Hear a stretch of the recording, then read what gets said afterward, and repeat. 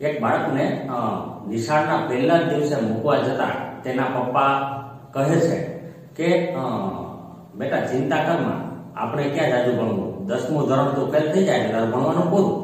અને એ બાળક ભવિષ્યમાં ત્રણ ત્રણ વિષયમાં માસ્ટર ડિગ્રી મેળવી પીએચડી સુધીનો અભ્યાસ કરે છે. અને બીજી ઘણી બધી પરીક્ષાઓ પાસ કરી અને સરકારમાં અધિકારી કક્ષા સુધીની નોકરી પણ મેળવે છે. એક સામાન્ય આર્થિક કુટુંબમાંથી આવતો છોકરો પોતાના નાનકડા ખર્ચાઓ નીકળી શકે એટલા માટે ભણવાની સાથે સાથે ઘરે ઘરે અગરબત્તી અને વોશિંગ પાવડર વેચે છે તેમજ સ્ક્રીન પ્રિન્ટિંગ જેવા નાના નાના ધંધાઓ કરે છે. અને એ ભવિષ્યમાં એટલો અમીર બને છે કે તેનું નાનકડા બગીચાવાળું મકાન અથવા તો બીજી ઘણી બધી સંપત્તિઓ તેને હોય છે. એક પાતળો એવો ઘવળનો છોકરો કે જે દેખાવે તો સામાન્ય હતો જ પણ અનફોર્ચ્યુનેટલી બાવીસ વર્ષની નાની ઉંમરમાં તેના ઘણા બધા વાળ પણ થઈ ગયા અને આમ છતાં એક સ્વરૂપવાન યુવતી તેના પ્રેમમાં પડી. એટલું જ નહીં, તેને લગ્ન પણ કર્યા અને સુખી દાંપત્ય જીવન જીવે છે. કેટલું આશ્ચર્ય થાય મિત્રો કે જ્યારે આ બધી સ્ટોરીઓ વાસ્તવિક છે તેવું ખબર પડે ત્યારે. અને આ તમારું આશ્ચર્ય એથી પણ વધી જાય કે જ્યારે હું એમ કહું કે ભાઈ આ બધી સ્ટોરી એક જ વ્યક્તિની છે. અને હજુ થોડું વધારી દઉં કે આ જે વાત છે તે તમે જેને સાંભળી રહ્યા છો તેની છે. આજે હું જે મારા રસપ્રદ મનોવૈજ્ઞાનિક પ્રયોગો અને અનુભવો તમને કહેવાનો છું, તેના વિશે તમે કદાચ વિચાર્યું પણ નહીં હોય. જી હા મિત્રો, આપણે આખી દુનિયાની બધી બાબતો, બધી વસ્તુઓ વિશે વિચારીએ છીએ, પણ એક વસ્તુ વિશે નથી વિચાર્યું, એ છે વિચાર પોતે. જેવી રીતે આંખ આપણી આખી દુનિયાને જોવે છે, પણ પોતે પોતાને નથી જોઈ શકતી. કે હું કોઈ ભાષણબાજી કરી કે કોઈ લેક્ચર લઈ, સમય પસાર કરવા નથી માંગતો, કે નથી કોઈ વીડિયો બનાવી વ્યુઅર વધે, એની માટેની મારી કોઈ યોજના. આજે પાછલા વીસ વર્ષમાં મેં જબરજસ્ત વસ્તુ મેળવી છે. એ તમારા સુધી વેચવાની ઈચ્છા છે. અને મારી તમને રિક્વેસ્ટ છે કે જો તમારી પાસે તમારા વીસ, પચીસ મિનિટ મને આપી શકો પૂરેપૂરા. તો આ વીડિયો જુઓ. અને મને ખાતરી છે, મને શ્રદ્ધા છે કે આ જે જે બાબત હું તમને સમજાવવા માંગ- છું, તે સમજ્યા પછી તમારા જીવનમાં તમે અવશ્યથી કંઈક સરસ મેળવશો.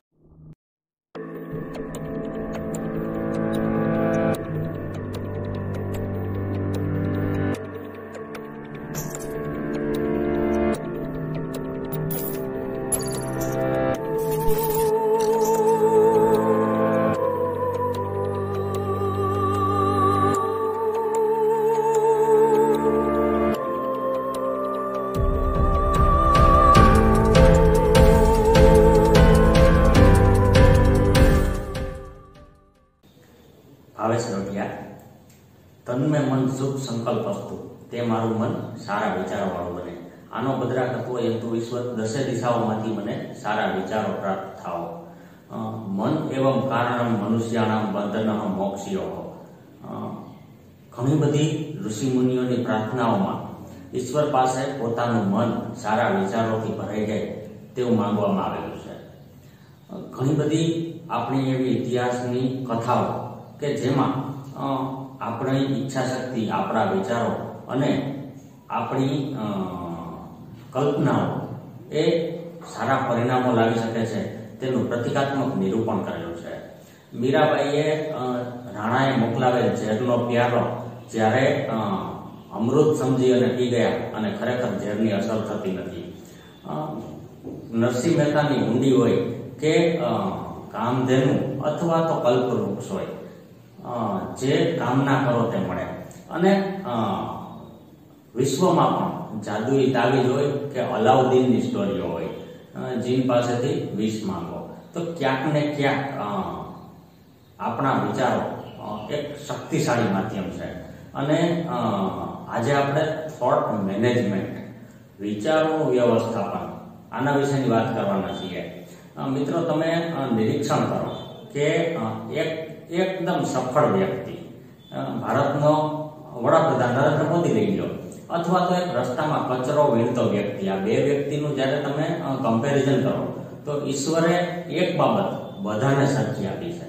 અને એ છે, દિવસના ચોવીસ કલાક અને આ ચોવીસ કલાકમાં આશરે આવતા ચોવીસ હજાર વિચાર હવે જુઓ, બધાને સરખો સમય છે. કોઈ એમ ન કહી શકે કે આ વ્યક્તિ સફળ છે એનું કારણ ભગવાને એને પચીસ કલાક આપ્યા છે. નહીં. કોઈ એમ ન કહી શકે કે ભાઈ કોઈ વ્યક્તિ ઉદ્યોગપતિ કે રાજકારણી કે એક્ટર હોય, તો એને પચીસમો કલાક મળેલો છે. અને હા, એ કહી શકે કે એને એના મળેલા સમયનો પૂરો ઉપયોગ કરેલો છે. એવી જ રીતે દિવસમાં આપણે સવારે ઉઠીએ ત્યારથી રાત્રે સૂઈએ, ત્યાં સુધીમાં આપણા મનમાં આશરે ચોવીસ હજાર વિચારો આવે છે. પણ તકલીફ એ થાય છે? કે મોટા ભાગના લોકો નેવું ટકા વિચારો નેગેટિવ અને રૂટીન કરે છે. નેગેટિવ તો ખબર છે, પણ રૂટીન એટલે શું? કે આપણે સતત આપણે દરરોજ જે કરીએ છીએ, તે જ વિચારીએ છીએ. દાખલા તરીકે કોઈ વેપારી હોય રાત્રે સુવે ત્યારે વિચારે કે સવારે કયો નાસ્તો કરશે અથવા ક્યાં કપડાં પહેરશે, નાઈ ધોઈ, બ્રશ કરી ક્યાં કપડાં પહેરશે, દુકાને જશે, ક્યાં રસ્તેથી જશે, આ વિચારો મગજમાં ચાલતા હોય છે. પાછો ઘરે આવી દુકાને જાય છે, દુકાને બેઠા બેઠા પણ વિચારે છે કે ભાઈ ઘરે આવીને તે શું ખાશે કયા લારી ગલ્લામાં જશે અને કયા એના મિત્રોને મળશે. તો રોજ કરો છો અને રોજ વિચારો છો. બરોબર? અને આ છે રૂટીન અને નેગેટિવ તો થોટ મેનેજમેન્ટ જરૂરી છે. મની મેનેજમેન્ટ સાંકળ્યું હશે વોટર મેનેજમેન્ટ સાંકળ્યું હશે, પણ થોટ મેનેજમેન્ટ કદાચ નવો શબ્દ છે તમારા માટે. અને આ બધું પણ જરૂરી છે મની મેનેજમેન્ટ જરૂરી છે, બાકી આમદની અઠાની ખર્ચા રૂપિયા, તો ભારે પડી જાય. એ જ રીતે પાણીનું પણ આપણે ઉનાળામાં જોઈએ છીએ કે જ્યાં મેનેજમેન્ટ નથી, ત્યાં કેવી તકલીફ પડે એટલે આ બધા મેનેજમેન્ટ આપણે સાંભળ્યા છે. પણ થોટ મેનેજમેન્ટ શું છે? ઘણી બધી વખત લોકો જે વિચારોનું યોગ્ય વ્યવસ્થાપન કરી શકે છે, જે પોતાના વિચારોને યોગ્ય દિશામાં વાળી શકે છે, એ અદ્ભુત સફળતાઓ મેળવે છે અથવા તો અદ્ભુત પરિણામો મેળવે છે. વિશ્વની નેવું ટકા સંપત્તિ માત્ર પાંચ ટકા લોકોના હાથમાં છે અને બાકીના પંચાણું ટકા લોકો બીજી દસ ટકા સંપત્તિમાં લડે છે. તો શું આ એક અકસ્માત છે? નહીં, આ એક વિજ્ઞાન છે. અને આ વિજ્ઞાનની ઝલક, આ વિજ્ઞાનનો અનુભવ મને થયો. મને સારા પરિણામો પ્રાપ્ત થયા. અને હું જેવી રીતે આર્કિમિડીસ યુરેકા યુરેકા કરીને નીકળી પડ્યો હતો, એવી રીતે હું પણ સૌરાષ્ટ્રના ગામડે ગામડે નીકળી પડ્યો હતો. અને ઘણા બધા યુવાનોને મારી આ વાત કરી હતી અને એને કરેલા પ્રયોગો અને એને થયેલા અનુભવોની મારે તમને આજે મારે શેર કરવા છે. અને ઘણા બધા લોકોએ આ જ્ઞાનને વેચ્યું પણ છે. ઘણા બધા પૈસા કમાયા છે.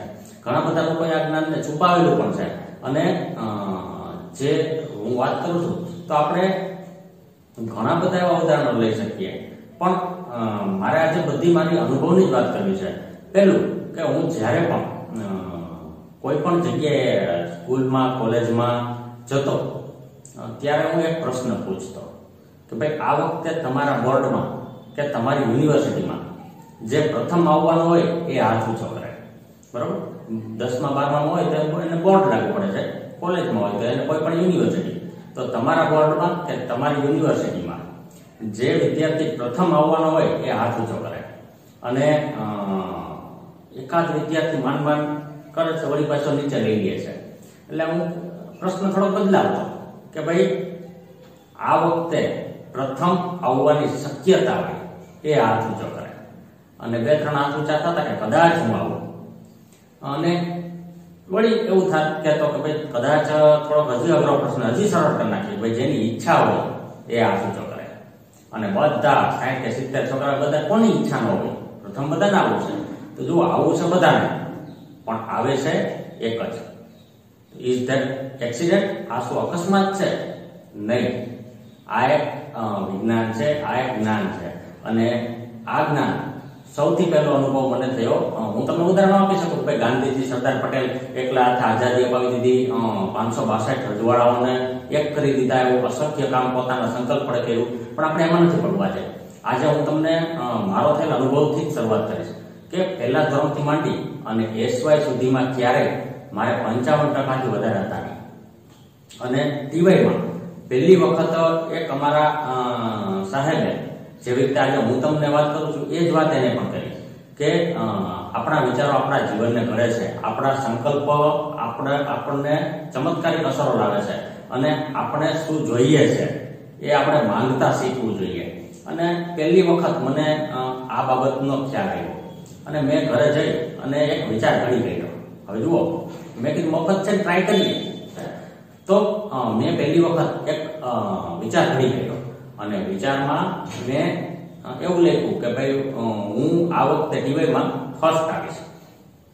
બીજા દિવસે જઈ અને મારી, મારા ક્લાસના બધા મિત્રોને બધાને મારી વાત જાહેર કરી દીધી કે ભાઈ, હું આ વખતે હું ફર્સ્ટ આવવાનો છું. હવે જુઓ, પહેલી વાર કે પહેલા જે વિદ્યાર્થીઓનો પ્રશ્ન પૂછતો કે આ વખતે કોણ પ્રથમ આવવાનો છે, એ શું બતાવતું હતું? આત્મવિશ્વાસ. ફૂલ આત્મવિશ્વાસ હતો.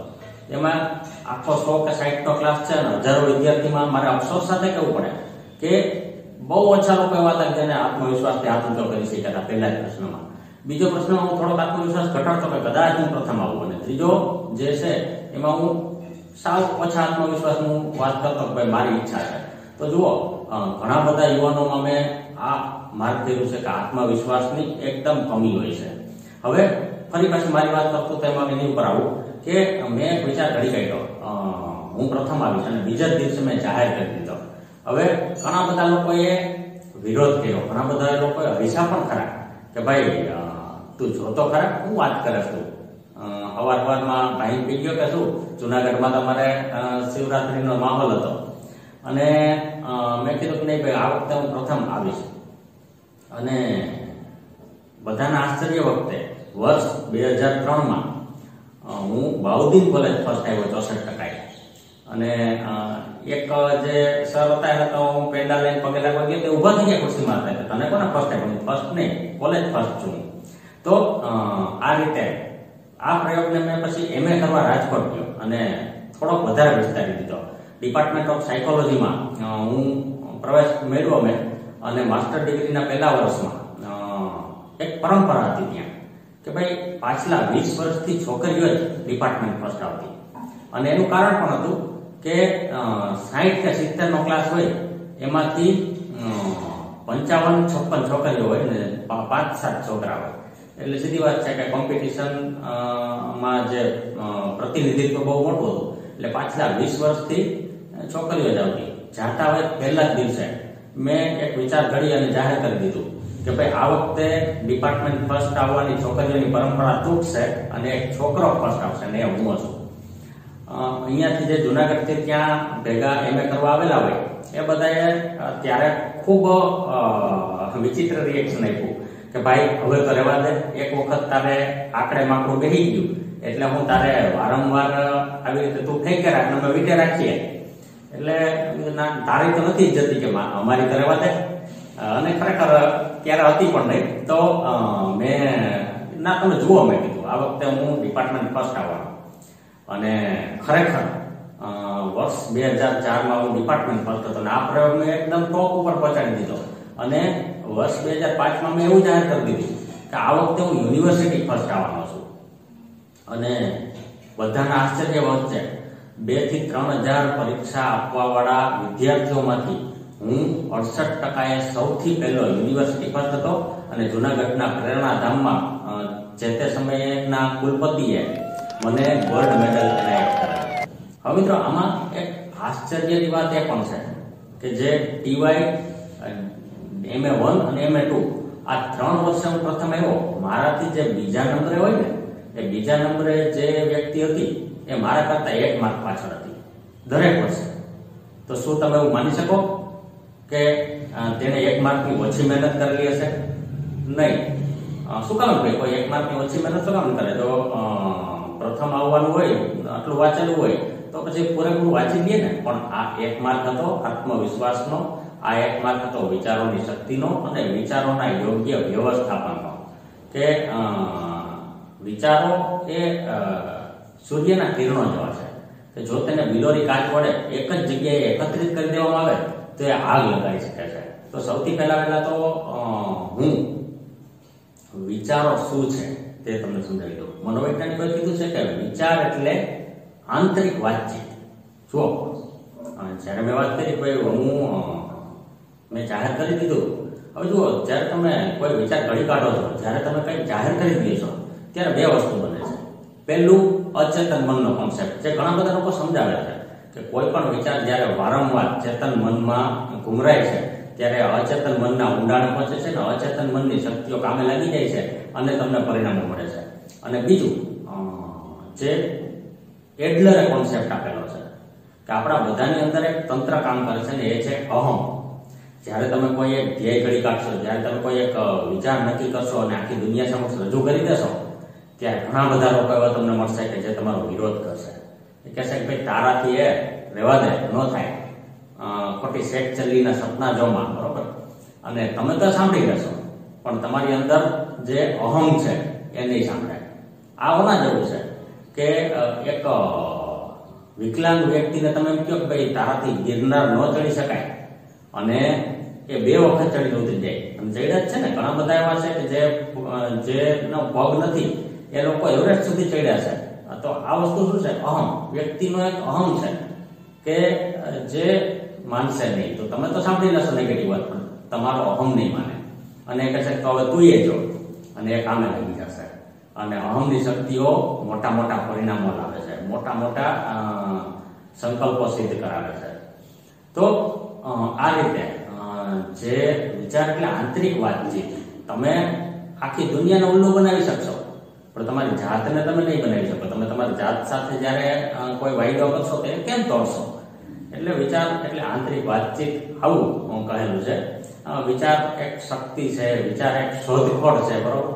હવે જ્યારે વિચારોની વાત આવે છે, ત્યારે હું એમ કહું છું કે ભાઈ, વિચારો ઘણું બધું કામ કરે છે, તો ઘણાને એ પ્રશ્ન થશે કે તો થતું કેમ નથી? લોકોના ધ્યેય કેમ પૂરા નથી થતા? વિચાર તો બધા કરે છે, બરોબર છે?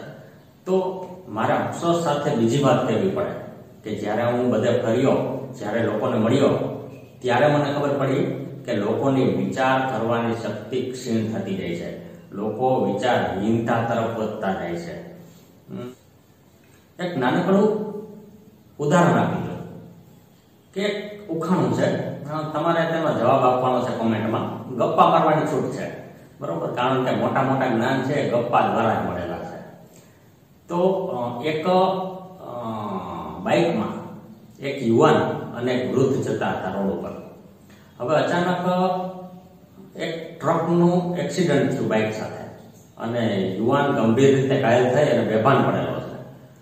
વૃદ્ધને પણ ખૂબ લાગ્યું છે. લોકોનું ટોળું ભેગું થઈ ગયું છે. અને જે વૃદ્ધ છે, એ છે કે આને ઝડપથી હોસ્પિટલે લઈ જવા મારો દીકરો છે. અને આટલું કે છે ત્યાં જ વૃદ્ધ, ત્યાં મૃત્યુ પામે છે. હવે પહેલા યુવાનને હોસ્પિટલે લઈ જવામાં આવે છે. હોસ્પિટલે ડોક્ટર ચેક કરે છે. અને ચેક કરી અને કહે છે કે આને તો ખૂબ લાગ્યું છે અને ઓપરેશન કરવું પડશે. પણ મારાથી નહીં થાય, કારણ કે મારો આતૃત છે, આ તો મારો જ દીકરો છે. હવે આવું કઈ રીતે બને? અહીંયા તમે વીડિયો પોસ્ટ કરી અને વિચારો, બરોબર? અને તમારા જવાબો તમે કોમેન્ટમાં આપો. તો આવું કેમ બને? મેં આ પ્રશ્ન ઘણી બધી જગ્યાએ પૂછ્યો છે ઘણા બધા લોકોએ ઘણા બધા ઉત્તરો પણ આપેલા છે. કોઈ એવું કીધું કે કદાચ જે ઓલો વૃદ્ધ હતો, જો વૃદ્ધ એમ કહે છે કે મારો દીકરો છે, ડોક્ટર એમ કે છે મારો દીકરો છે આમ કેમ બને? તો ઘણા એમ કહે છે કે ભાઈ ડોક્ટરને એને એના દીકરા જેવો લાગ્યો અથવા તો ડોક્ટરની ભૂલ થઈ ગઈ.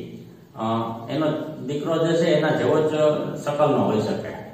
બીજું એ પણ કે છે ઘણા લોકો કે ભાઈ ડોક્ટર છે, એના પિતા હતા અને વૃદ્ધ છે દાદા હતા. આ પણ શક્ય છે.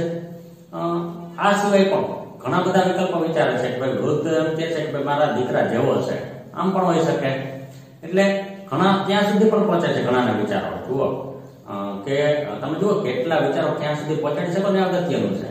તો ત્યાં સુધી પણ પહોંચે છે કે ભાઈ જે ડોક્ટર છે ને ડિવોર્સ લીધા હોય અને આ છોકરો પછી તેની માતાએ બીજા લગ્ન કર્યા હોય અને આ છોકરો પેલા વૃદ્ધ દીકરો કહેતો હોય ડોક્ટર પણ કહેતો હોય. તો શાબાશ, તો આમાંથી કાંઈ પણ તમે વિચારેલું હોય આમાંથી તમારો કોઈ જવાબ હોય, તો વેલ ડન પણ સાચો જવાબ હું આપું. બારમા ધોરણની મનોવિજ્ઞાનનો જ આ કિસ્સો છે કે ડોક્ટર પેલા યુવાનની માતા હતી. હવે જુઓ મિત્રો જ્યારે પોલીસ, ડોક્ટર, આવું બધું વિચાર આવું બધા શબ્દો આવે ત્યારે આપણા મગજમાં આપણને એક જ છબી આવે છે. પોલીસ વાત કરીએ એટલે મોટી મોટી ઊંચો હોય ને થોડુંક મોટામાં કદાચ પાન ગુટખા હોય કે થોડોક પેટ વધારે હોય અને આખો એક વૃક્ષ ચહેરો મગજમાં આવે છે. એવી જ રીતે જ્યારે કંડક્ટર કે ડોક્ટરની વાત આવે તે પુરુષ જ મગજમાં આવે છે. ઇવન સ્ત્રીઓને પણ. છોકરીઓને પણ મેં આ પ્રશ્ન પૂછ્યો છે. એ લોકો પણ ડોક્ટરની વાત આવી ત્યારે આ બને છે. અને તમને પણ જો અનુભવ થયો હોય તો કહી શકો તમે, બરોબર છે કે તમને પણ શું ખરેખર આવો જ આવ્યો હતો વિચાર? તો એ તમે કોમેન્ટમાં કહી શકો, જેના દ્વારા બીજા લોકોને ખબર પડશે કે આપણી બધાની માનસિકતા કઈ રીતે. અને શા માટે પણ હું તમને આજે સમજાવવાનો છું? તો જુઓ, આપણા બધાના વિચારો ધીમે ધીમે એકાંગી થતા જાય છે. વિચાર વિનતા તરફ આપણે વધતા જાય છીએ. હજી એક ઉદાહરણ આપું, કે ભાઈ એપલ જો એપલ આપ્યું હોય તમારા મગજમાં, તો હવે આગળ નથી વધવું, બરોબર? તો આપણે કોઈને કોઈ રીતે એક ફિક્સ વિચારો કરવા તરફ વધી ગયા છીએ. અને જેમ ઘોડાને પોતાના બે ડાબલા હોય ને, એમ આજે મારે આ લેક્ચરમાં તમારા ડાબલા ઉખેડી નાખવાનું કામ કરવાનું છે.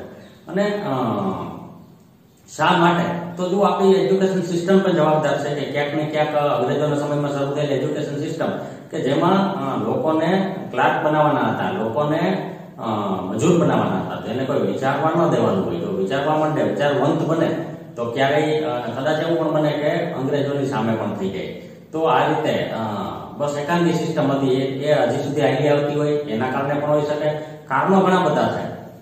પણ મહત્વપૂર્ણ કારણ અત્યારે અત્યારે મારી પાસે એક ડઝન એવા ઉદાહરણ છે હું સાબિત કરી જાઉં. જો તમે એમ કહેતા કે સાહેબ, તમે શું વાત કરવામાં વિચારી નથી શકતા, તો હું સાબિત કરી જાઉં કે ભાઈ, આપણા વિચારો એકાંગી થઈ ગયા છે.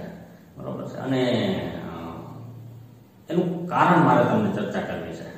કે એનું કારણ છે કોમર્શિયલ જાહેરાતો. એક સમય હતો કે જ્યારે આપણા ઘર ઘરમાં રાજુ જીવી અલીડોસો એ વંચાતા. પન્નાલાલ પટેલ અને ધૂમકેતુ જેવા લેખકો ઘરના લાગતા. લોકો એના એ નવલકથાના પાત્રોમાં સુખે સુખી અને દુઃખે દુઃખી થતા. પણ એનું સ્થાન કોણે લીધું?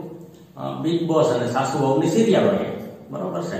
તો અને એ પણ ઠીક છે, ચાલો. કે જે આ બધી સિરિયલો છે એમાં કોઈ પણ બૌદ્ધિક વાત નથી થતી, કોઈ પણ વૈચારિક વાત નથી થતી, એ જવા દઈએ. પણ વચ્ચે આવતી જાહેરાતો. જાહેરાતો શું સિદ્ધ કરવા માંગે છે, મિત્રો? વિચાર કરો ખાલી. કે તમે જ્યારે બ્રશ કરો સવારે ત્યારે તમે બાથરૂમનું બારણું બંધ રાખજો બાકી કોક માઇક લઈને આવશે અને પૂછશે કે ક્યાં આપકે ટૂથપેસ્ટ મેં નમક હે? અથવા તો અમુક પીણું તમે પીશો અને અગાસી ફેંકવા માંગશો. અથવા તો તમે અમુક સ્પ્રે લગાવશો અને છોકરીઓ પાછળ દોડશે. જો મિત્રો, આ બધી વાત જ્યારે આપણે કરીએ ત્યારે હસવા જેવું લાગે. પણ પ્રામાણિકતાથી કહેજો કે જ્યારે તમે આ જાહેરાત આના કરતાં પણ બીજી જાહેરાત હવે તમે જોશો તો તમને ખ્યાલ આવશે કે આ કેવી વાત કરે છે. પણ એ જાહેરાત જોવા સમયે તમને હસવું આવેલું હતું. નહીં કદાચ તો એક આખે આખી ઇન્ડસ્ટ્રી ઊભી થઈ છે અને એ ઇન્ડસ્ટ્રી લોકોના વિચારો એક તરફ વાળવા માટે પ્રયત્નો કરે છે. જ્યારે તમે ટૂથપેસ્ટનો વિચાર આવે, તો કોલગેટ જ મગજમાં આવી જોઈએ અને તો જ તમે તે લેશો ને? એટલે તમે કોઈ પણ ચોપડી ખોલો, કોઈ પણ છાપું ખોલો, કોઈ પણ હોર્ડિંગ જુઓ, બહાર નીકળો ત્યારે સતત કરોડો રૂપિયા ખર્ચી અને તમારા માઇન્ડને એક જ દિશામાં દોડાવવાના પ્રયત્નો થાય છે. અને આનું પણ આર્થિક કારણ છે, બરોબર? મોટી મોટી મલ્ટીનેશનલ કંપનીઓ પોતાના અબજો રૂપિયાનો પ્રવાહ પોતાના તરફ વહેતો રહે એના માટે પ્રયત્નશીલ છે. બીજી વાત કે હદ તો ત્યાં સુધી થઈ ગઈ છે કે આજે તમે બુધવાર કે રવિવારની કોઈ પણ છાપાની પૂર્તિ ખોલો. એટલે આખું પાનું ભરાય અને જ્યોતિષની જાહેરાતો જુઓ છો. બરોબર છે? અને એમાં પણ તમે અંદર વાંચો કેવું કોમેડી કે ભાઈ મૂઢ ચોટ બરોબર? અથવા તો એક તરફથી પ્રેમવાળા મળે. બધેથી હેરાન થઈ ગયેલા, બધેથી છેતરાયેલા એકવાર મને મળે. એટલે હું છેતરું. બરોબર ને? કામ થવાની એકસો ને એકાવન ટકા ગેરંટી એટલે આમ તો કુલ ટકા તો સો જ હોય. તો એકસો એકાવન કેમ એક હજારમાંથી આપતા હશે ને? ગેરંટી. અને આવું જો આખું આ ભરેલું છે. તાંત્રિક અગરીઓથી વસીકરણથી તો આ બધી બાબતોમાં પાછા યુવાનો આપણા ફસાયેલા છે. ત્યારે મને દુઃખ થાય છે કે આવું શા માટે? આવી વિચારહીનતા શા માટે? લોકો આટલા બધા ખોટા રસ્તે શું કામ ચડી ગયા? અને આ જે વચમાં પૈસા દે અને અડધી અડધી કલાક આવતી કોમર્શિયલ જાહેરાત, કે જે સિરિયલની રૂપે દેખાડવામાં આવે, સવારમાં ટીવી ઓન કરો અને હજારો રૂપિયા લઈ અને તમારી સમસ્યાઓનો અંત સમોસા ખાવામાં છે એવા ઘણા બધા બાબાઓ આવે છે. ઘણા બધા ફલાણી ચા પીવો અને પાતળા થાઓ. આ યંત્ર રાખો અને ઘરમાં પૈસાનો વરસાદ કરો. તો, અને હમણાં એક મારો વિદ્યાર્થી મારી પાસે આવ્યો. અને કહે છે સાહેબ, બોલો કેશ પોસા હેરોઇન તમે વાપરો? તમારા માથામાં વાળ આવી જશે એટલે મારે કેવું પડ્યું કે ભાઈ માથાના કેસ તો ગયા ખિસ્સાના કેસ તો રહેવા દે. એટલે અને મિત્રો, અમુક ક્રીમ લગાવવાનો ગોરા થાવ બરોબર ફેર વાળાની છોકરી પણ કાળી જ છે. તો આ જાહેરાત તો સાબિત શું કરે ખબર નથી પડતી. તમારે ગાયક, ગાયકની સ્પર્ધા જીતવી હોય ઇન્ડિયન આઇડલ જીતવી હોય, તો તમે સારા ગાવાની જરૂર નહીં, પણ તમારે કોઈ એવી ક્રીમ લગાવી હોય તમે દેખાવ સારા. તો આ રીતે આવી જાહેરાતોનો મારો આપણી પર સતત ચાલુ છે. અને આપણને એક રીતે હિપ્નોટાઇઝ કરવામાં આવે છે કે જે આપણે જાણી શકતા નથી. અને આજે આપણે આ દરેકની એક પછી એક એક પછી એક જે હકીકત મારે તમારા સુધી પહોંચાડવી છે. તો આ બધું જે કંઈ ચા પીને પાતળા થાવો કે ઊંચા થાવો કે વજન વધારો કે ગોરા થાવો કે, હવે સફળતાને એની સાથે લેવા દેવા શું? મિત્રો, જો તમને એવું લાગતું હોય કે ઊંચા લોકો જ સફળ થાય, તો નેપોલિયન અને શિવાજી નીચા હતા. જો તમને એવું લાગતું હોય કે ગોરા લોકો જ સફળ થાય, તો કૃષ્ણ કાળા હતા. જો તમને એવું લાગતું હોય કે બોડી બિલ્ડર જ સફળ થાય તો સરદાર પટેલ સિંગલ બોડીના હતા. સફળ થવા માટે, આગળ વધવા માટે. કાળા, ગોરા, ઊંચા, નીચા કોઈની જરૂર નથી. બસ એક જ વસ્તુની જરૂર છે, એક જ વ્યક્તિની જરૂર છે, અને એ છે તમે. જો એક વ્યક્તિ એક વિચાર કર્યો અને કેટલા પરિણામો મળ્યા. રાજારામ મોહન રાય એક વિચાર આવ્યો કે સતી પ્રથા મારે નાબૂદ કરવી છે. અને આજે ક્યાંય સતી પ્રથા નથી. થોમસ આલ્વા એડિસન એક વિચાર આવ્યો ના કે આખી દુનિયા પ્રકાશથી ઝળહળે છે. સ્વામી વિવેકાનંદ ઘણા બધા અંધશ્રદ્ધાઓ દૂર કરી. તો શાહજહાં, બરોબર, વિશ્વની અજાયબી તાજમહેલ આજે દિલ્હીમાં ઊભો છે. એને પણ ઘણી બધી સમસ્યાઓ થઈ છે જ્યારે બનતો હશે ત્યારે. પણ એક વિચાર, અને એ એક વિચાર જ્યારે ઘડી કાઢવામાં આવે છે, તો એક વિચાર અને એક વ્યક્તિ આજ પાછળ આખી દુનિયા ચાલી આવે છે. તો એક વિચાર ખૂબ જ આશ્ચર્યકારક પરિણામો લાવી શકે છે. અને આ વિજ્ઞાનને હું જેમ જેમ જાણતો ગયો, તેમ તેમ મેં ઘણું બધું ભણતર સારા સામાજિક સંબંધો, ઘણા બધા મિત્રો, અઢળક રૂપિયા અને મારી બધી ઈચ્છાઓ પૂરી કરી છે. મિત્રો હું તમને કેટલાક ઉદાહરણ આપું. મને એમ થાય છે કે નાનકડા વીડિયો મારે કેટલાક ઉદ- ઉદાહરણ આપવા. પરંતુ જ્યારે પહેલી વખત પીએચડીની એન્ટ્રન્સ એક્ઝામ નીકળી, બધા ખૂબ કહેતા કે બહુ અઘરી બહુ અઘરી. અને ત્યારે પણ મેં એવી વાત કરેલી હતી કે ભાઈ કોઈ પાસ થાય કે ન થાય, પણ એક તો પાસ થશે જ ને હું હશું. બરોબર? ઘણા બધા બહુ ઓવર લાગી ગયું. પણ ખરેખર એ પરીક્ષામાં સૌરાષ્ટ્ર યુનિવર્સિટીમાં હું એકલો જ પાસ થયો હતો. મારી પાસે પેપરના કટિંગ જે સમાચારમાં ચમકેલું હતું કે મનોવિજ્ઞાનમાં માત્ર એક વિદ્યાર્થી પાસ એ હું હતો. અને તમને પુરાવા સહિત કહી શકું એવું નથી કે હું હવામાં ફેંકું છું. તો અને એ પણ પાછું ચાલીસ માર્કે પાસ હતું એક્ઝેક્ટ ચાલીસ માર્ક આ કેમ થઈ શકે મિત્રો? જ્યારે સામાજિક વિજ્ઞાનની ટેટ લેવામાં આવી, ઘણા બધા લોકો કહેતા કે બહુ અઘરી બહુ અઘરી. છતાં પણ એક જ વાત મારા મગજમાં ઘૂમતી, એક જ વાત હું કરતો કે ભાઈ કોઈ પાસ થાય કે ન થાય, હું તો પાસ છું જ. તો આ રીતે સતત એવા આશ્ચર્યકારક પરિણામો મેં મેળવી રાખ્યા છે. અને એમાં પણ નથી પડવું મિત્રો. જે કંઈ મેળવું હોય તમને શું મારી જે કંઈ ઉપલબ્ધિ ઉપલબ્ધિના તમને કોઈ મતલબ ન હોય, સમજી શકું તમે પ્રયત્ન કરો. મારે તમને રિક્વેસ્ટ કરવી છે કે આજથી, આજની તારીખ જોઈએ જ્યારે તમે વીડિયો જોતા હોય ત્યારે.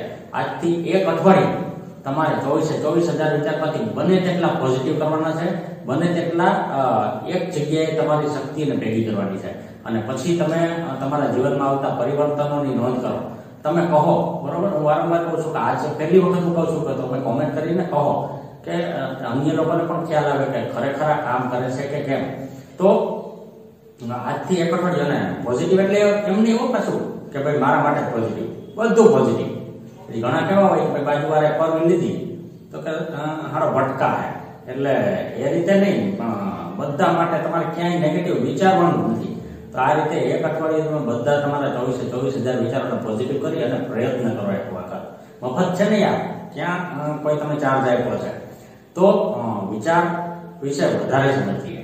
કે વિચાર શું છે? હું જ્યારે કહું છું કે આપણા વિચારો કરવાની શક્તિ ક્ષીણ થઈ ગઈ છે એકાની થઈ ગઈ છે, આપણે વિચારહીનતા તરફ વધી ગયા છીએ અને એમાં પણ ઇન્ટરનેટ અને કોમ્પ્યુટરે તો માજા મૂકી છે મિત્રો. મોટા ભાગના યુવાધનને હું એમાં વેડફાતું જઉં છું ત્યારે મને દુઃખ થાય છે. એટલે વિચાર શું છે, એ તમને સમજાવું. કે પહેલું વિચાર હંમેશા નવો હોવો જોઈએ. જુઓ, આપણે બધાને વિચારો આવે છે, પણ કેવા હોય છે? બધા કરે છે તેવા. નવા વિચાર તમને આવ્યા કે કેમ? એક અનુભવ જ કરાવી દઉં કે તમારે એક હું પઝલ પૂછવાનો છું. પઝલ પૂછ્યા પછી તમારે વીડિયો પુશ કરી અને એક નોટ ને પેન પહેલા લેતા આવો અત્યારે જ. પુશ કરીને અને ત્યારબાદ તમારે શક્ય હોય તો લાવો, પ્રયત્ન કરો, તમે પોતે ઇન્વોલ્વ થાઓ. ન શક્ય હોય તો તમે ખાલી જુઓ, તો પણ તમને કાંઈક તો શીખવા મળશે. તો જ્યારે તમારે શું કરવાનું છે કે નોટને પેન જો કદાચ ચાલો તો આવી ગયો છે, અત્યાર સુધી તમે પુશ કરીને આવ્યા છો, તો નોટમાં તમારે આ રીતે નવ મીંડા કરવાના છે. બરોબર છે? હવે તમારી પેન ઉપાડ્યા વગર ચાર સીધી લીટીમાં નવે નવ મિનિટ આવી જાય. એ રીતે તમારે ચાર રેખા દોરવાની છે. ચાર સીધી લીટી કરવાની છે. કે જેમાં પેન ઉપાડવાની નથી અને નવે પોઈન્ટ આવી જવા જોઈએ. ફરી પાછું પુશ કરી અને પ્રયત્ન કરો. કદાચ પ્રયત્ન કર્યા હશે. ચાર સીધી લીટીમાં થાય છે કે કેમ? આ કે ના કહી શકો તમે. તો જેને નથી થયા, જેને થઈ ગયા છે એના માટે અભિનંદન. પણ જેને નથી થયું, એનું તકલીફ ક્યાં છે હવે એની પહેલા આપણે જોઈ લઈએ કે એ કઈ રીતે શક્ય હતું. તો જુઓ જ્યારે શરૂ થાય છે, ત્યારે આપણે પહેલી લીટી ત્રણ જે પોઈન્ટ છે એનાથી ઉપર લઈ જઈએ. પછી બીજી લીટી બે પોઈન્ટથી આગળ લઈ જાય છીએ અને ત્રીજી લીટી જે છે એ આ રીતે કરી અને, આ, તો નવે નવ પોઈન્ટ આવી ગયા ને? હવે તકલીફ ક્યાં હતી? એની વાત કરીએ. કે તકલીફ ક્યાં હતી? કે જે લોકોને નહોતું થતું, એ બસ આ જે બોક્સ છે ને, એ બોક્સની અંદર જ લીટી કરતા રહ્યા. ખરું કે નહીં? તો જુઓ મિત્રો, આપણે આને એવી ક્યાં શરત જ હતી કે ભાઈ બહાર નથી જવાનું. પણ આપણે બહાર જતા નથી. બરાબર છે. અમુક ફિક્સ વિચારો આપણા થઈ ગયેલા છે. તો વિચાર નવો હોવો જોઈએ. બરોબર? દરરોજ એક નવી સવાર ઉગે છે. દરરોજ, એક તમે પોતે પણ નવા છો, બધું નવું છે, દુનિયા બદલાય છે, પણ તમે તેના તે શા માટે રહ્યો છો? તમારા વિચાર કેમ એ જ રાખો છો? કાંઈક નવું વિચારો. કોઈ નવા રસ્તેથી જાઓ, દરરોજ જતા હોય છો તેના કરતા. તો પેલું વિચાર નવો હોવો જોઈએ. બીજું વિચાર મોટો હોવો જોઈએ. હવે ઘણી બધી વખત એવું બનતું હોય છે કે આપણે બે વિચાર કરી શકીએ છીએ, મોટો કરી શકીએ, નાનો તો નાનો શું કામ એમ? મારું કહેવાનું એ થાય છે. ઇતિહાસમાં બનેલ ઘટના કવિ દલપતરામ, એની પાસે ઇંગ્લેન્ડના ફાર્બસ સાહેબ, જેને ઘણા બધા ગુજરાતી પુસ્તકો લખ્યા છે, એ ફાર્બસ સાહેબ દલપતરામ પાસે ગુજરાતી શીખવાના ટ્યુશન માટે આવે છે. બંને વચ્ચે ફી કેટલી લેવી તેની રકઝક થાય છે.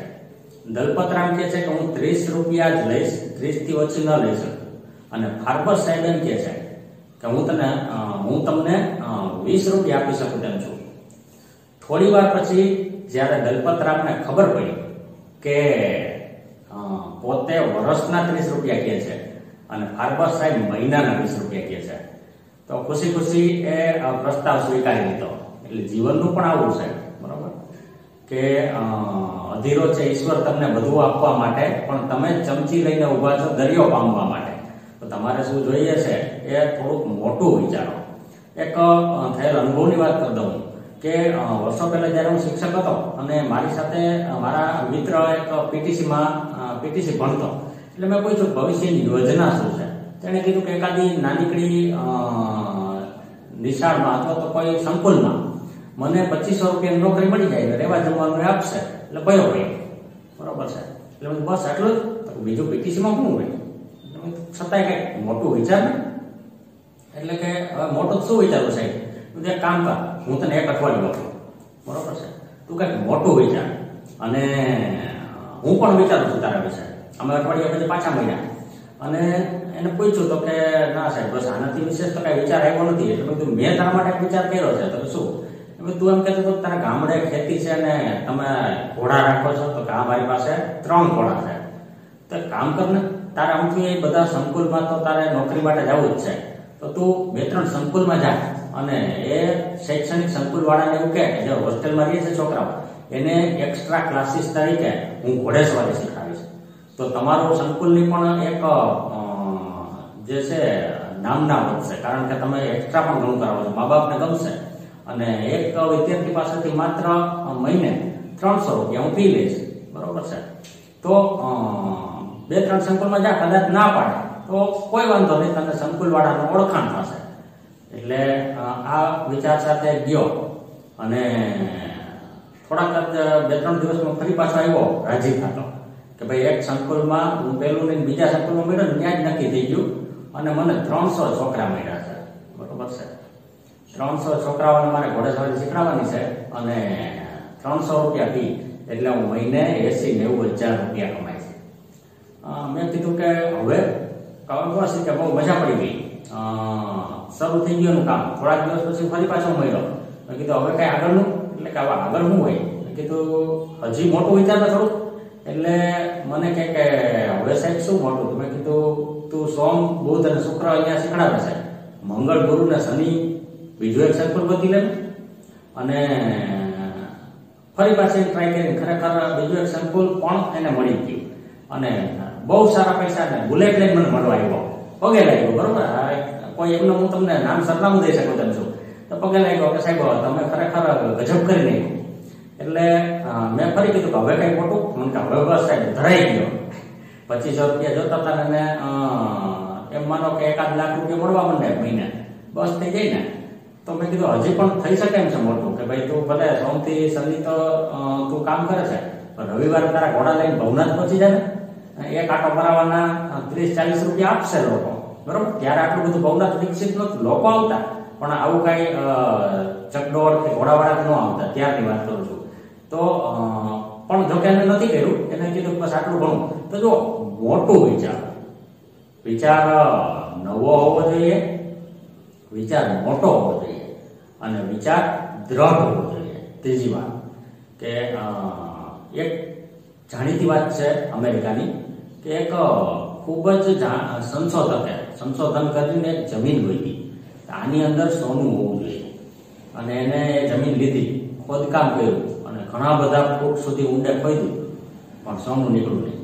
અને અંતે નિરાશ થઈ અને એ જમીન એને વેચવા કાઢી એક વ્યક્તિએ જમીન લીધી. હવે પેલો કે છે કે ભાઈ, આમ તો મેં સોનાની શોધ માટે આ જમીન લીધી હતી મને એવું લાગતું હતું, મારા સંશોધન કે છે કે આમાં સોનું નીકળવું જોઈએ. પણ ખૂબ ખોઈદું પણ કાંઈ સોનું નીકળવું નથી. બરોબર છે. પણ તમે આ શું કામે લ્યો છો? એટલે પેલા વ્યક્તિ કીધું મારે પણ એ જ કામ છે, મારે પણ સોનું હતું તો કે એ તો રહેવા દો તમે લ્યો મારી પાસે ખરીદી કરો નકામા પૈસા જશે. તો કે નહીં, મને જોવા તો કયો વાંધો નહીં. મારે પ્રયત્ન કરવો છે. અને તેને જમીન લીધી. અને જે ખોદકામ થયેલું હતું તેના માત્ર વીસ, પચીસ ફૂટ ખોદતા ઘણો બધો સોનાનો ભંડાર નીકળ્યો. આજે પણ અમેરિકામાં એ સોનાની ખાણ હયાત છે. તો જુઓ, જે પેલો વ્યક્તિ હતો, એ લક્ષ્ય સુધી પહોંચવામાં વીસ, પચીસ ફૂટ જ બાકી રહી ગયો. તો દ્રઢ વિચારો. આપણા વિચારો સતત બદલાતા રહે છે, ફરતા રહે છે, કેન્સલ થઈ જાય છે. અને આ વસ્તુ પણ ક્યાંક ને ક્યાંક અસર કરે તો વિચાર નવો હોવો જોઈએ, મોટો હોવો જોઈએ અને દ્રઢ હોવો જોઈએ. અને ઘણી વખત જો ઘણા બધા વર્ગોમાં મૂક્યો છું. અને મેં એક પ્રયોગ કર્યો છે. જો તમે અત્યારે તમારો મોબાઈલ દૂર રાખી શકો હોય, તો આ પ્રયોગ આપણે પણ કરી શકીએ. ન રાખી શકો હોય, તો તમે પોતે કરજો ક્યાં? બરોબર છે? તમે ટ્રાય કરો, હું કહું છું તેવું. કે હું જાતો અને ગેમ, ગેમમાં હું જ્યારે ત્રણ કહું, ત્યારે આમ કરવાનું છે. બે કહું, ત્યારે આમ કરવાનું છે. એક કહું, ત્યારે તાળી પાડવાની બરોબર છે? સૌથી ઈઝી છે. તો જે કરી શકે એમ છે એના માટે પહેલા પહેલા સ્ટાર્ટ ત્રણ. બે. જુઓ, એક નથી કીધું. છતાં પણ ઘણા એ તાળી પાડી દીધી હશે. અથવા તમે ક્યાંક ટ્રાય કરજો આ રીતે. બરોબર? આખો વર્ગ હોય સિત્તેર એસી નો. અને ત્રણ કહો. બે કહો. અને હું પાડું એટલે બધા તાળી પાડી દે છે. એક નથી કહેતો, છતાં. તો આ શું બતાવે છે? કે આપણે વિચાર કરતા, જે જોઈએ છીએ તે કરીએ છીએ. અને આ બધી બાબતો સમજ્યા પછી અંતે હું તમને પણ કહેવા માંગીશ કે શા માટે આપણા વિચારો એકાંગી થાય છે? જુઓ, ચારે તરફ ભ્રષ્ટાચાર ગુના, આત્મહત્યાઓ, આ બધું આપણને જોઈએ ત્યારે આપણને એમ થાય કે આપણે કઈ દિશા તરફ જઈએ છીએ. બરોબર છે? અને એક સમય હતો આઝાદીનો.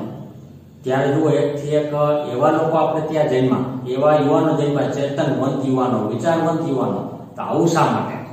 બરોબર છે. તમે ચંદ્રશેખર આઝાદ જુઓ કે તેર ચૌદ વર્ષની વર્ષ વયે પહેલી વખત તે પકડાણા. એની હાથકડી જે હતી, એ એના હાથ એટલા બધા નાના હતા કે હાથકડી આખી બહાર નીકળી ગઈ. બરોબર છે? તો આવો એને કયો વિજોગ લાગી ગયો એ સમયે કે એને બીજું કાંઈ ન ઈચ્છું અને દેશને આઝાદ કરાવવાનું ઈચ્છું. ભગતસિંહ, બરોબર છે? કે વીસ, એકવીસ વર્ષની વયે હસતા હસતા ફાંસીએ ચડી જવું એટલે સુભાષચંદ્ર બોઝ અશફાકુલ્લા ખાન તો સુભાષચંદ્ર બોઝ જ્યારે આઝાદ હિન્દ ફોજની રચના કરી અને ગામે ગામ ફરતા તું મુજે કું તો ભાઈ તમે આઝાદી દૂંગા પૈસાની માંગ કરતા કે લડાઈ માટે આપણે પૈસા જોઈએ છે? બહેનો પોતાના ઘરેણા ઉતારીને આપી દેતી. બરોબર છે? બહેનોના ઘરેણા લેવા બહુ અઘરી વાત છે. એ તો જેને પરણી, પરણીત છે એને ખબર હશે. ઘણી વખત કોઈ પતિ કે આજે હમણાં થોડુંક બિઝનેસમાં દેવું વધી ગયું છે લોન વધી ગઈ છે, જો તારા બંગડી છે આપી દે, તો આપણે પછી પાછી નવી બનાવી લેશું ના આવો તમારે જે કરવું એ કરો, એ તમારી છે. તો બહેનો પોતાના ઘરેણા આપી દેતી. અને એવામાં ધોરાજીનો ટિમ્બર મર્ચન્ટ હામિદ અંસારી એને પોતાને આખે આખી ફેક્ટરી વેચી અને દોઢ લાખ રૂપિયો એ સમયે સુભાષચંદ્ર બોઝના પગમાં ધરી દીધો. સુભાષચંદ્રની આંખમાં આંસુ આવી ગયા. અને પૂછ્યું બેટા અમીર અપને લીએ ક્યાં રખતે હો? ત્યારે જવાબ દે છે કે, આઝાદી કી તમન્ના.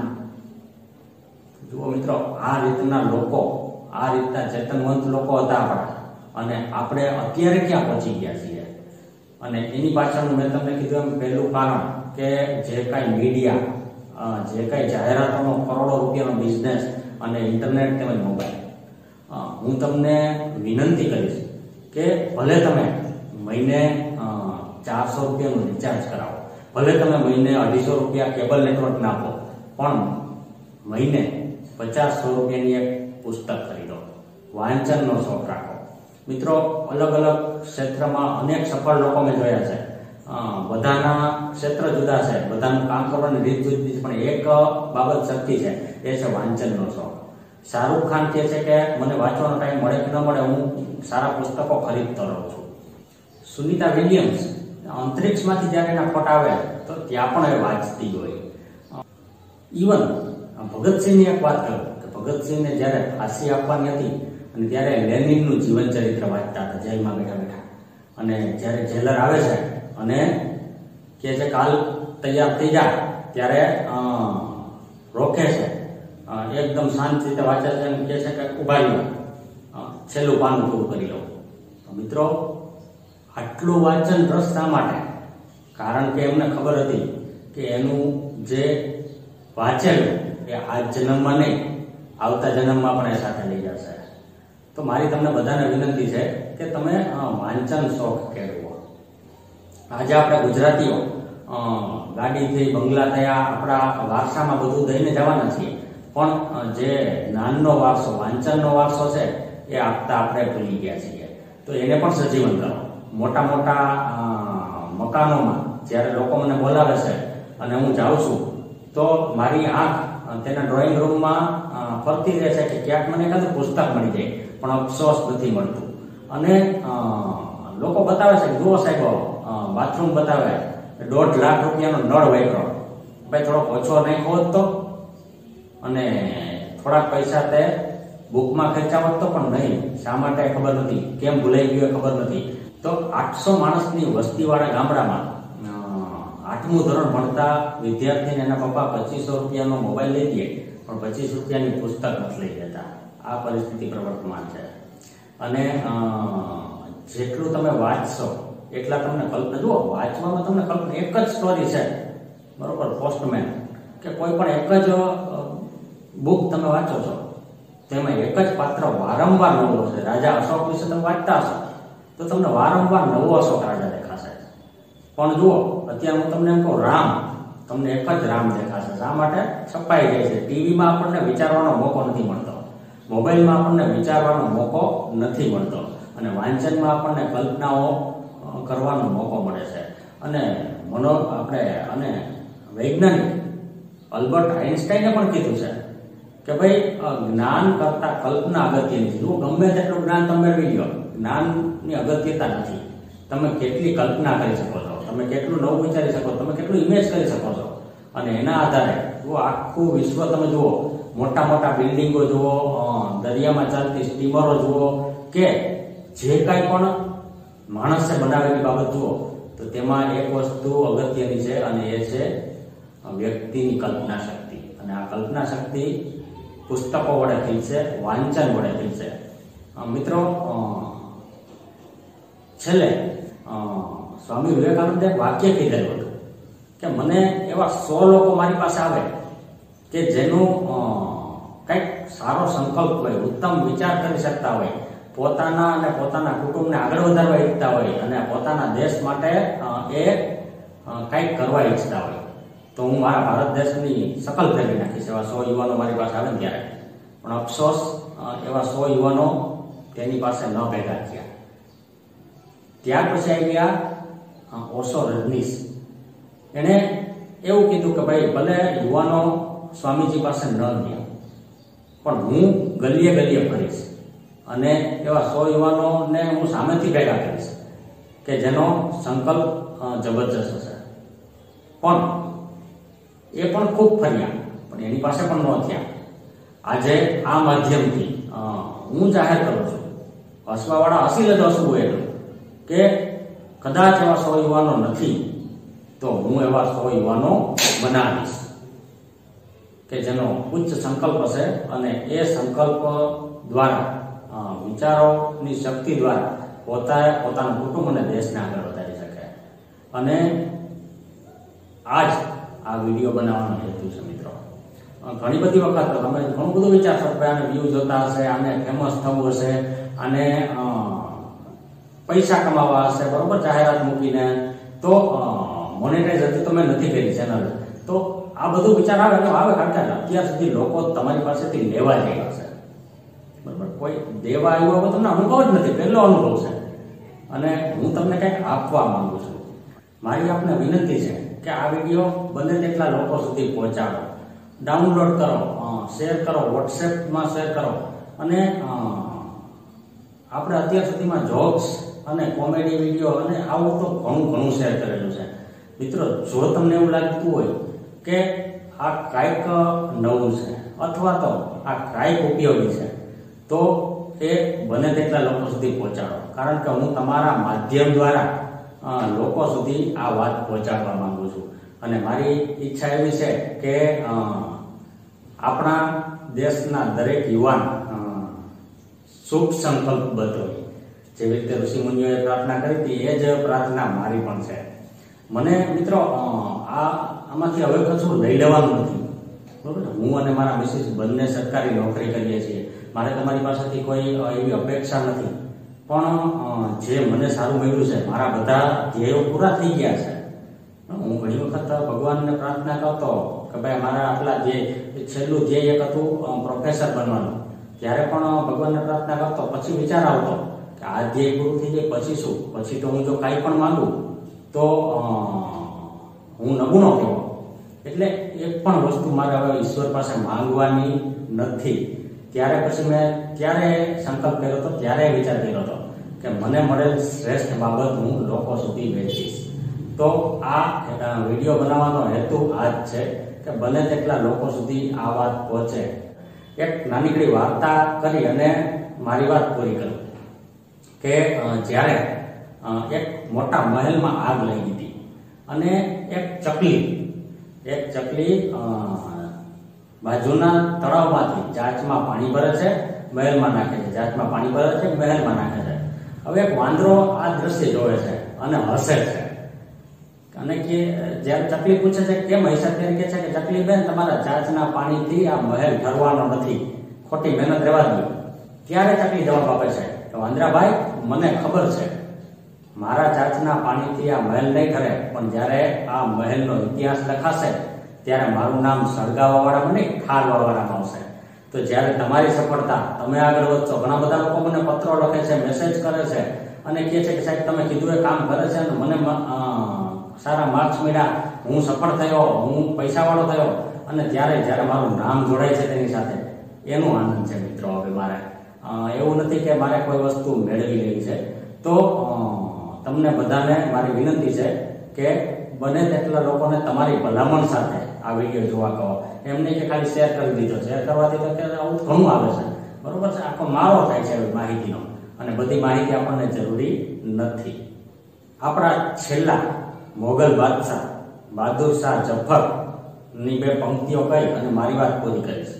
એ બાદશાહ હોવાની સાથે સાથે સારા શાયર પણ હતા. તેને પંક્તિ લખી છે કે દમ દમે મેં દમ નહીં, અબ ખેર માંગો જાનકી. એ જફર ઠંડી હુઈ, અબ તેગ હિન્દુસ્તાન દમ દમે મેં દમ નહીં, આપણા યુવાનોમાં હવે કઈ દમ નથી ગયું આપણા યુવાનો નમાલા બની ગયા છે. અબ ખેર માંગો જાનકી, તમારો જીવ બચાવી માંગો એ જફર ઠંડી હુઈ, અબ તેગ હિન્દુસ્તાન કી ભારતની તેગ, ભારતની તલવાર, ભારતના યુવાનોની બુદ્ધિની ધાર. ઠંડી થઈ ગઈ છે અને ત્યાર પછી બીજો જ વિચાર એને આવે છે અને બીજી બે લીટી લખે છે કે ગાઝીઓ મેં બુ રહેગી જબ તલક ઈમાન કી તખ્ત લંદન તક ચલેગી તેગ હિન્દુસ્તાન કી. આપણા યુવાનો શુભ સંકલ્પ થશે ગાઝીઓ મેં બુ રહેગી જબ તલક ઈમાન કી. એનું ઈમાન જબરજસ્ત હશે. એનું આંતરિક વ્યક્તિત્વ જબરજસ્ત હશે. તો તખ્તે લંડન તક ચલેગી ભારતમાં તો શું? લંડન સુધી. તેગ હિન્દુસ્તાનથી ભારતની તલવાર ચાલશે. એટલે અંતે આ રીતે બધાનું પોતાનું આંતરિક વિશ્વ મજબૂત થાય અને ભારતનો આખા વિશ્વમાં જય જયકાર થાય. આ શુભ ઈચ્છા સાથે વિરમું છું.